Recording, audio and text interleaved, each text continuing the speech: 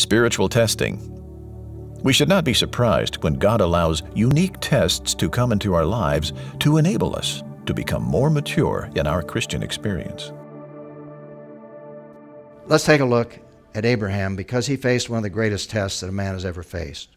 Genesis 22. After these things, God tested Abraham. Didn't tempt him because God doesn't tempt us.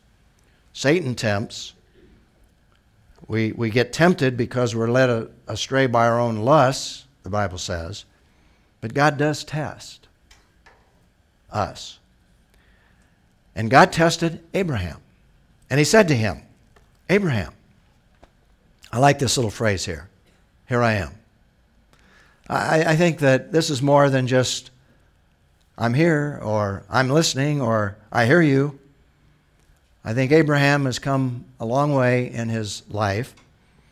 And when God speaks, he's saying, I'm here, I'm yours. I, here I am.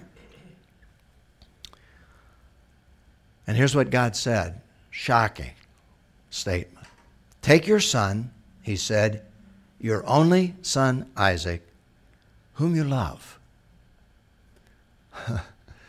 that's, that's underscoring something that, that really drives right to the depths of your soul, right? Take your son whom you love. And you can imagine how the love relationship between father and son grew even after Ishmael left the household. And, and Abraham began to understand what it really meant to have this son in his old age and the promise that God had fulfilled. Take your only son whom you love and go to the land of Moriah. And the land of Moriah, by, by the way, would be in Jerusalem. And it would be probably there on the mountain or the hill that he's going to go to, is uh, right there in Jerusalem, where there is an, uh, a Muslim mosque that's built right on that hill. And some believe it's actually the hill called Calvary, where Christ was actually uh, crucified. But in this Old Testament scene, we see an incredible picture in some respects of the crucifixion.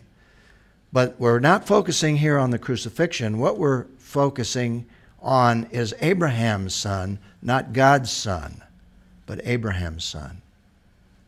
Take your only son Isaac, whom you love, go to the land of Moriah, offer him there as a burnt offering on one of the mountains I will tell you about.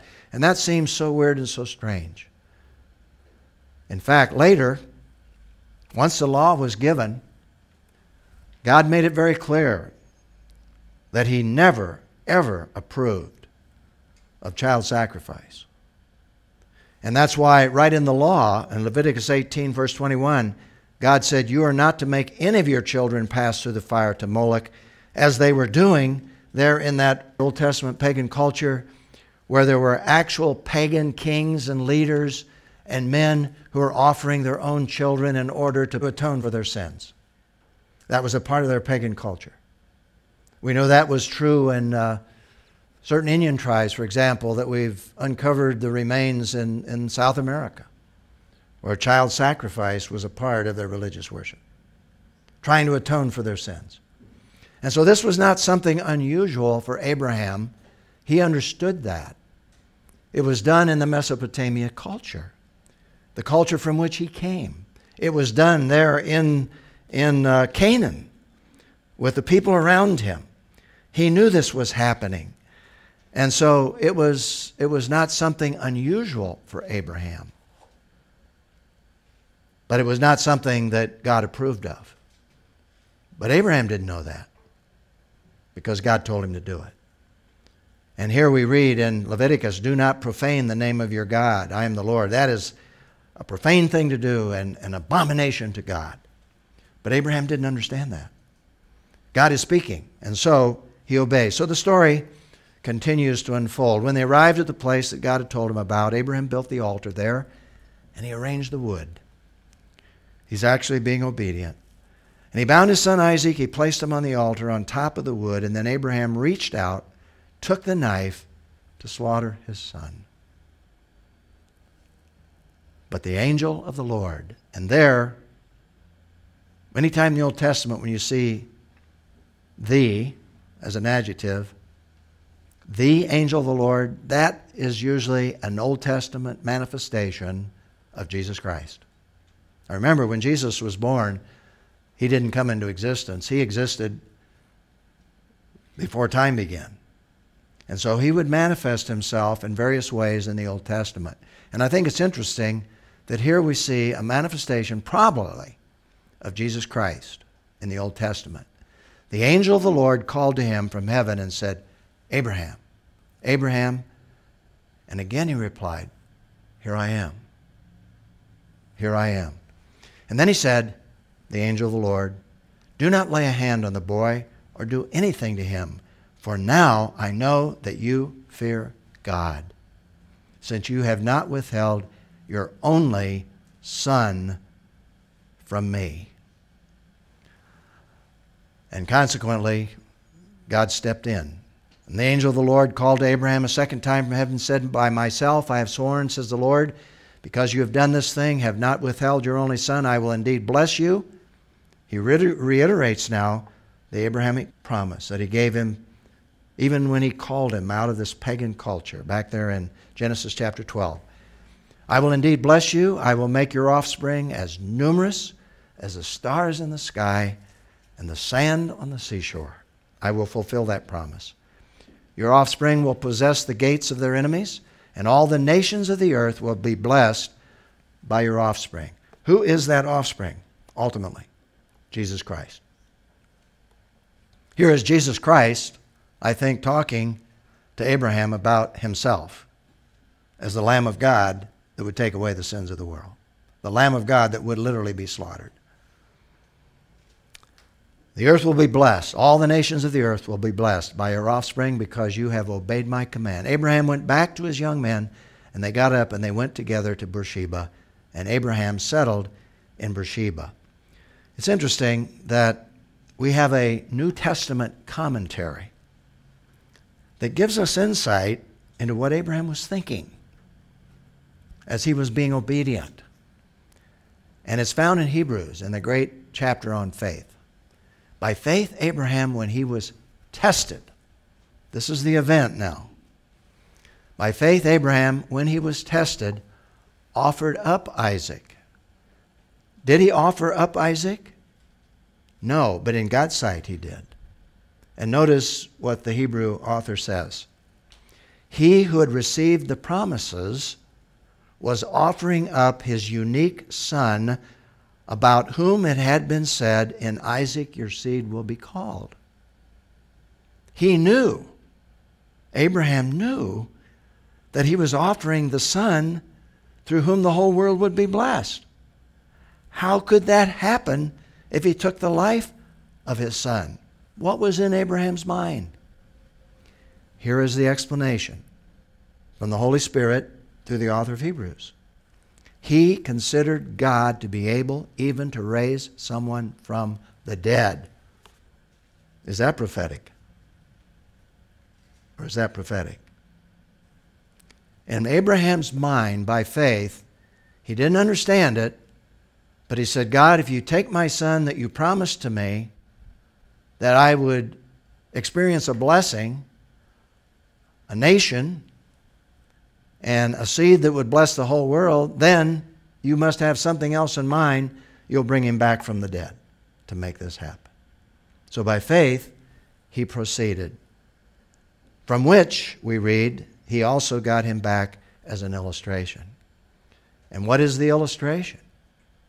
Well, one of the illustrations that beautifully comes out of this is all of the prophetic aspects that relate to Jesus Christ, who was indeed crucified probably there on that same mountain, that same place where Abraham was to offer his only son.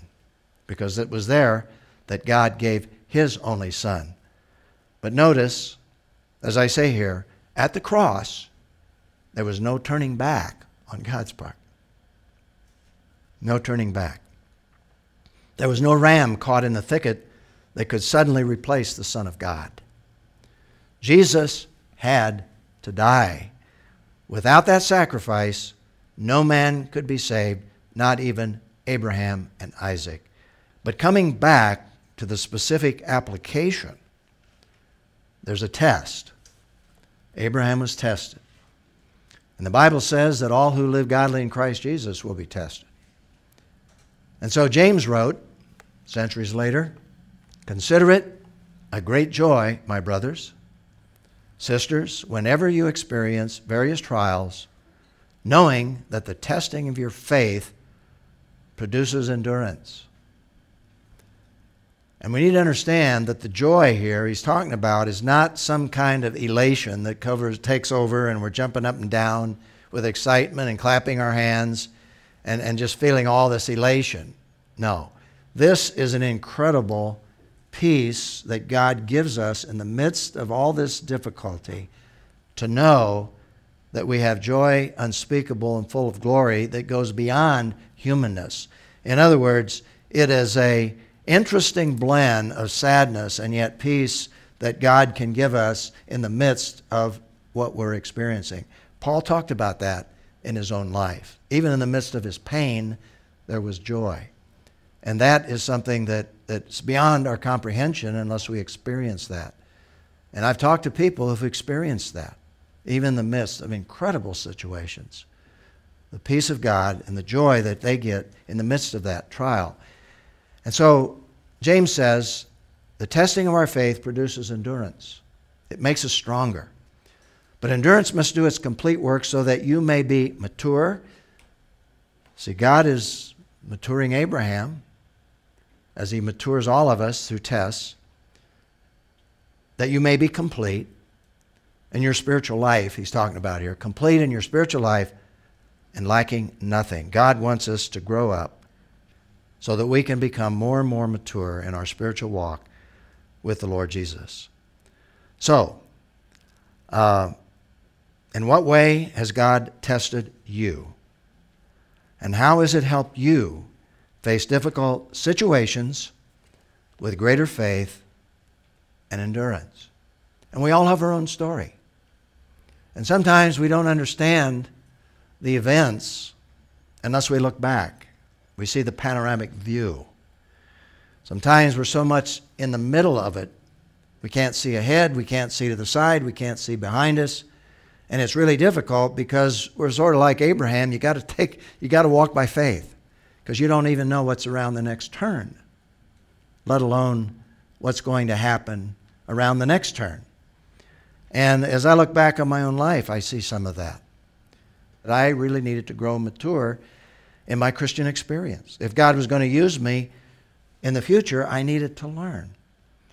And it was through a variety of things, an answer to prayer and encouragement, that God once again helped me to get my eyes focused back on the Lord Jesus.